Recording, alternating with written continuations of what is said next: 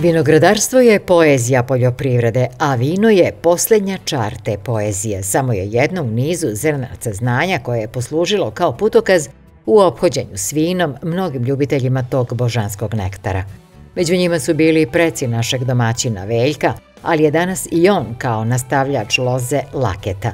Da bi nam opisao svoju neizmjernu ljubav prema vinogradima, ispričao nam je jednu porodičnu anegdotu. Pokojni otac je ovaj, bio je poznat po tome da je njegov vinograd je uvijek bio pedantan, održan, čist, uredan. Znači, pored svih njegovih obaveza što je radio u firmi, privatnim poslom se bavio sve i svašta, jel? On je u tom vinogradu dane i dane provodio, jel?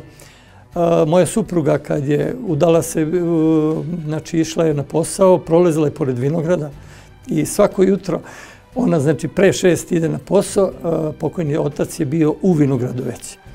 I ona mu se javlja, deda, kako ide? Pa evo, radimo i tako. Da bi jednog dana ona njemu rekla, deda, ili stvarno voliš ili si lud da u ovo vreme svakodnevno ti provodiš vreme u tom vinogradu, jel? No, život ide dalje, jel? Deda je 2011. umro, da bi mi jednom posle par godina, jel, to sad da kažemo dve čerke, supruga i ja, održavamo to i radimo, jel, kompletno, šta ko stigne, šta ko voli, šta ko hoće, jel, kako već ide, uglavnom ga održavamo. Šta se desilo? Desilo se da smo jednom u tom radu u Vinogradu setili se te priče i moja supruga rekla, e sad ne znam da ja pripadam. Da li sam ja zavolela Vinograd ili sam ludak što radim u tom Vinogradu. Tako da smo se slatko ismijali tvemu tome i ispali smo... Koju biste se vi svrstali? Pa ispadamo da mi zavolili smo Vinograd. Neko je zadovoljstvo, ali e, ja to kažem, pričam iz iskustva.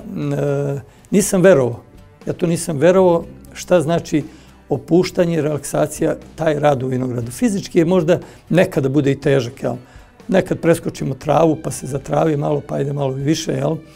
Ali kad se radi, na primjer, zalamanje zaperaka, obrada oko toga, to je nešto što to ne može čovjek da opiše, to samo treba da doživi. Vinska priča porodice Laketa počela je davne 1956. godine kada je Veljkov deda, rodom iz okoline Šipova u Republici Srpskoj, kupio švapsku kuću u crvenki nadoma Kule i zasadio prve čokote vinove loze. Taj čokot u znak sećanja na začetnika proizvodnje do danas nije izvađen. Sad dolazim ja u situaciju u kojoj se tata nalazio, pošto je on sadio sa njegovim ocem, ja sam sadio sa svojim ocem, E sad ja trebam da dozvolim da neko izadi tu lozu. Nipak ne bih. Emocije su te koje prevladaju i ne dozvoljavaju, jel?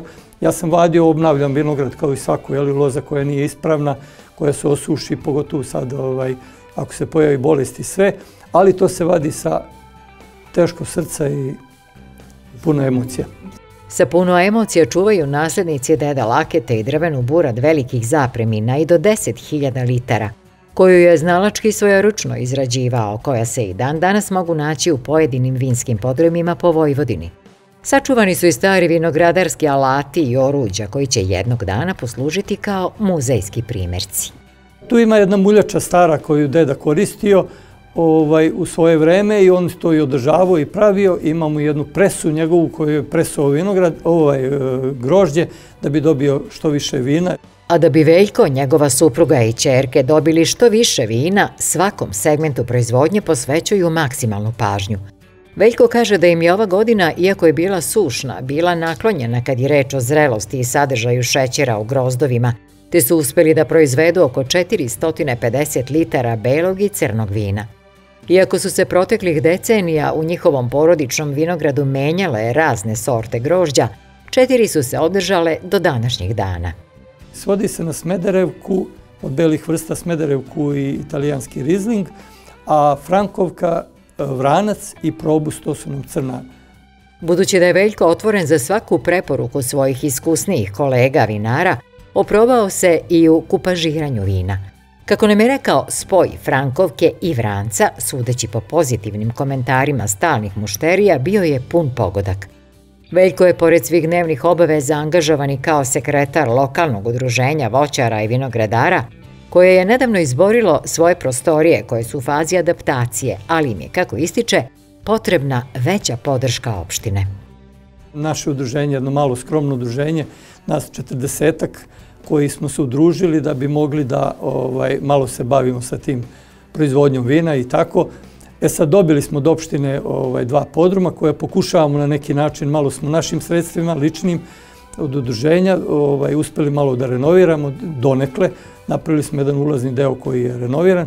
E sad se nadamo da će naša opština da izađe u susret i sa ovim rebalansom budžeta ove godine što planiraju, da nam odvoje izvesna sredstva kojim bi nastavili da adaptiramo i sređujemo te podrume.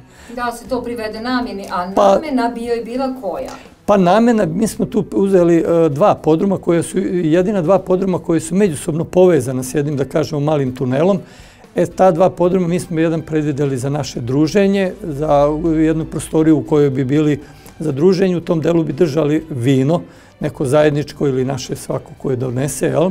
a drugu bi formirali jedan mali muzej, ako Bog da jednog dana da se može izložiti to što imamo od alata raznoraznih i tako starina koji su ostale u nasledstvu od švaba koji su tu živeli i, i formirali te vinograde i te podrume izgradili.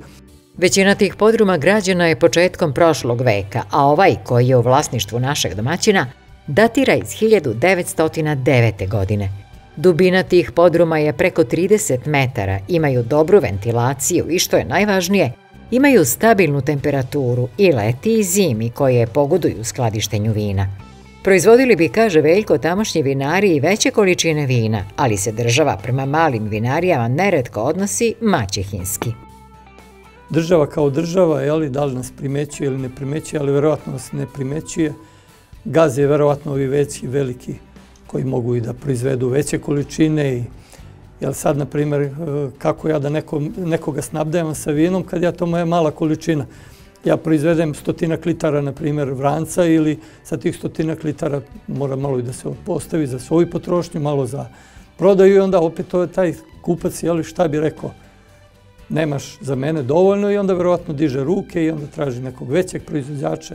A crvenka koja ima dva veka dugu tradiciju proizvodnje vina, čime se meštani diče i ponose, i tekako ima potencijala i za masovniju proizvodnju autohtonih sorti vinove loze, ali i za razvoj vinskog turizma koji bi uz kekseru i šećeranu mogao da bude razvojna šansa tog bačkog mesta.